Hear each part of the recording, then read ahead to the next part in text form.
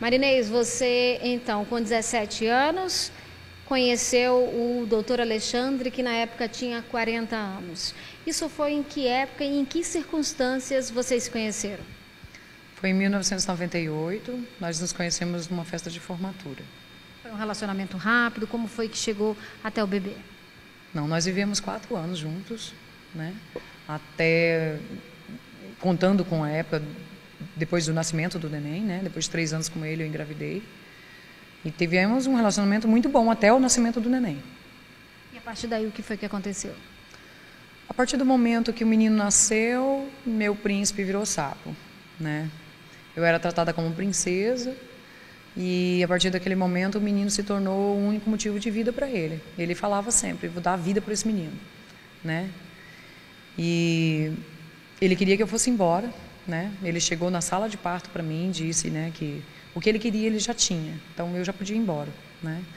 A partir daí minha vida com ele se tornou um inferno. Ele passou a me pressionar, ele me agredia fisicamente, verbalmente, moralmente, mais do que tudo, entendeu? E dessa deu uma depressão pós-parto, né? Da depressão pós-parto me desenvolveu lupus. É uma doença imunológica, pouca gente conhece, né, que acomete todos os órgãos, é, um, é uma doença crítica. Né? E eu, no, meados de novembro, já meu neném com, com, com 11 meses, eu fiquei muito mal. Todo mundo pensou que eu fosse morrer. E aí eu fui encaminhada para João Pessoa. Eu fui para a UFPB fazer o tratamento lá. Eu passei três meses lá, meu neném estava com um ano e um mês, quando ele chegou com o neném lá, e me mandou embora. Né? Quando eu arrumei a bolsa do neném, a família dele toda foi contra que eu trouxesse o menino, né? Ele não queria que eu trouxesse o menino, não me deixou trazer o menino. E ele teve uma, uma frase assim que eu vou guardar para o resto da vida, né? Você é pobre e doente, você não tem cacife para criar o meu filho. A partir daí eu passei a ver o meu filho um ano, uma vez no ano, né? Porque eu ia daqui, trabalhava o ano inteiro só para comprar uma passagem para ir ver o meu filho. Eu fiquei aqui na rua, uma amiga da época que me acolheu com meu outro neném, né? E eu passei a ver o meu filho uma vez por ano. Quando meu filho estava mais ou menos com três anos, foi a minha última ida lá, porque ao visitar o meu filho, o tio dele bateu no meu filho na minha frente. Era quem estava criando a criança, porque o pai nunca criou. Ele deixou o menino lá com os tios, né, com a avó e com babás. E esse tio bateu no meu filho, na minha frente, sabe? Ali eu, eu me desestruturei. Falei, eu não, eu não vou conseguir mais ver isso. Então eu parei de ir lá ver o meu filho. Mas eu ligava, mantinha contato com ele o tempo todo. Como era seu relacionamento com seu filho? Ele agora é um jovem de 16 anos. É, como é que era esse relacionamento de mãe e filho?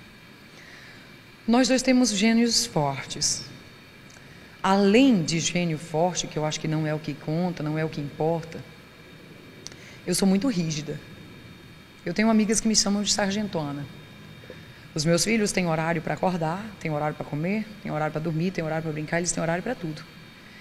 E o meu filho em questão, ele não foi criado com limite de nada.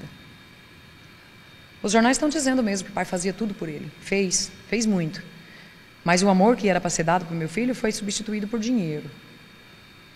Isso que me diz que meu filho pressionava o pai por dinheiro, não desta forma.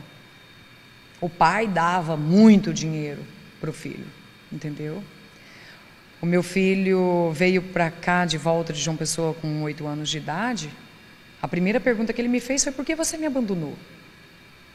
Eu não abandonei o meu filho. O pai dele tomou ele de mim, né? Ele ficou muito transtornado quando ele soube da verdade. Oito anos de idade, né? Mas eu não abandonei meu filho, nunca. Nunca. Jamais o faria.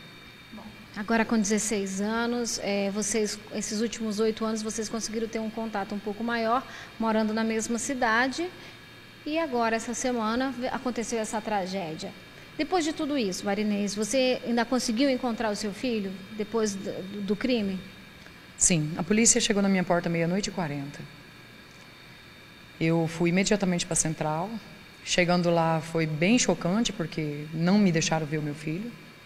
Perguntei se um advogado eu poderia ver o meu filho, disseram também que não. Mas mesmo assim eu liguei para um amigo que foi lá, né? E entrou, conversou com o delegado.